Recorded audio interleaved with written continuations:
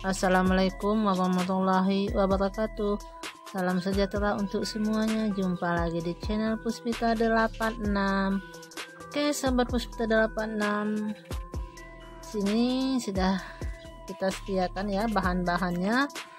Ini tepung gendum atau terigu Ini tepung tapioka atau sagu Telur Dan ini penyedap rasa baiklah sahabat pusita 86 setelah bahan kita siapkan seperti ini terlebih dahulu kita didihkan air ya lebih kurang setengah liter, setengah liter ya. Oke sekarang kita ambil mangkok ya. Kita ambil mangkok. Kita tuangkan gendum belum tadi ya atau tepung terigu.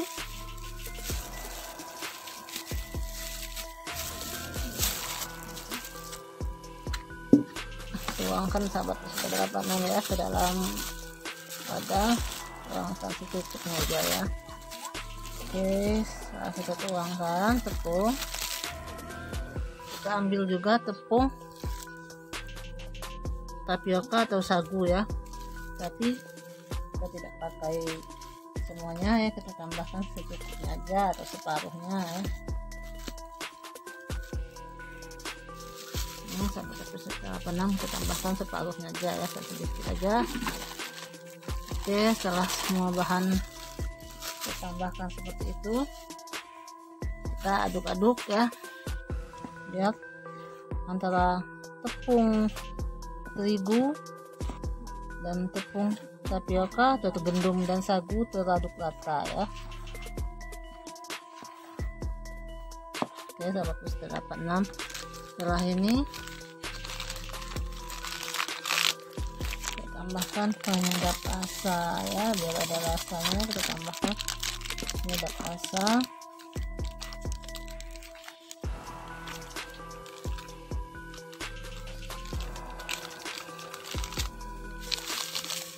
bungkus ya dua, dua bungkus penyedap rasa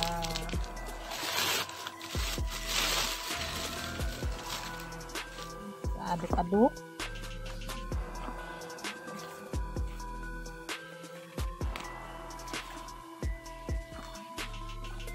Oke sahabat. Sekitar 86 untuk tepung terigu atau gendum setengah kilo ya atau 500 gram dan tepung tapioka atau sagunya cukup 250 gram atau seperempat ya. Ya sudah tuh dua bungkus penyedap rasa. Dan kita tambahkan air yang sudah dididihkan ya.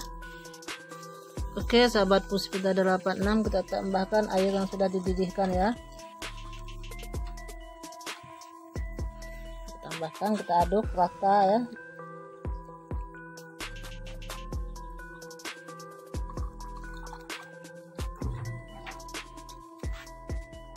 ini perpaduan antara tepung tapioka tepung terigu atau kita sering kita sebut sagu dan gendum. Inilah makanan khas kota Palembang yaitu PMP nah sahabatku sudah 86 ini dinamakan dengan PMP dos. Ya dos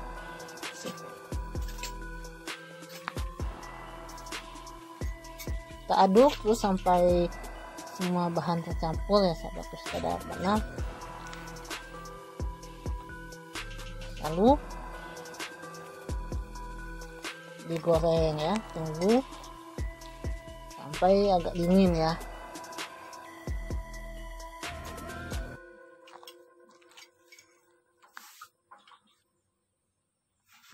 Oke sahabat pista 86 tadi sudah kita tambahkan telur ya. Telur cukup satu butir. Kalau mau dua butir ya nggak apa-apa sih tergantung selera ya. Nah setelah agak dingin sahabat darah panang kita tambahkan air matang ya atau air ya masak yang sudah dingin ya jangan yang panas ya. Ini kita aduk-aduk lagi sampai rata. Sangat simpel sahabat peserta 86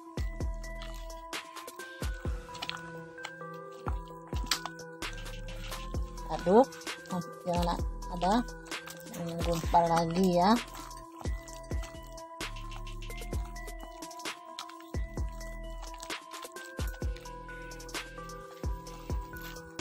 Nah sahabat sudah 86 semuanya sudah tercampur ya seperti ini. Sekarang kita goreng ya.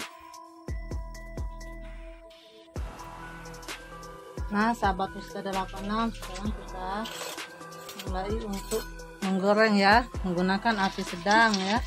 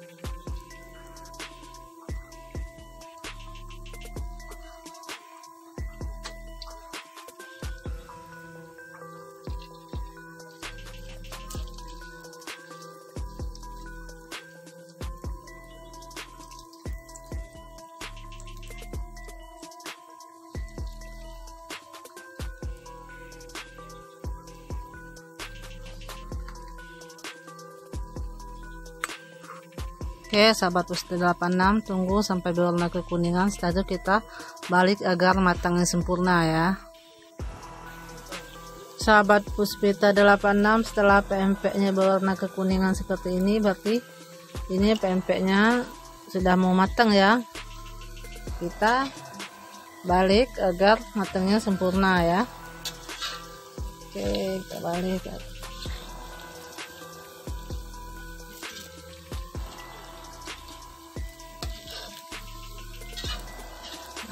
tunggu sampai semua pempek warna kecoklatan ya.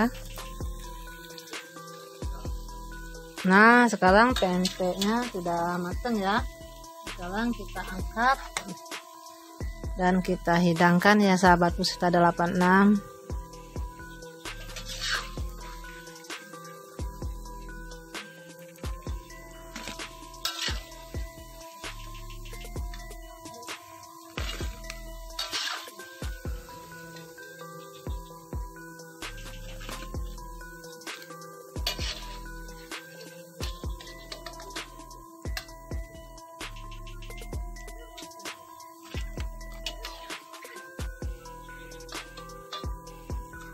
oke sahabatku sudah 86 sekarang kita hidangkan ya Oke, sahabat pusita 86 inilah PMP DOS Sutra khas Palembang sudah siap untuk dihidangkan. Oke, sahabat pusita 86. Sekarang kita tambahkan cuka ya. Ini cuko wong kito. Oke, sahabat pusita 86 ini pempek dos ya. Pempek dos juga bisa terbuat dari tepung tapioka atau sagu saja dan bisa untuk dicampur ya. Hmm sahabat pusita 86 sangat lembut dan kita kecilkan sama cuka makan ya. Hmm. Lembut. Oke sahabat pusita 86 bagi sahabat pusita 86 yang belum tekan tombol subscribe sekarang silahkan tekan tombol subscribe-nya ya. Gratis lu. Jangan lupa aktifkan notifikasi lonceng dan ikutin terus di channel Puspita 86 terima kasih. Wassalamualaikum warahmatullahi wabarakatuh. Wah lembut banget swing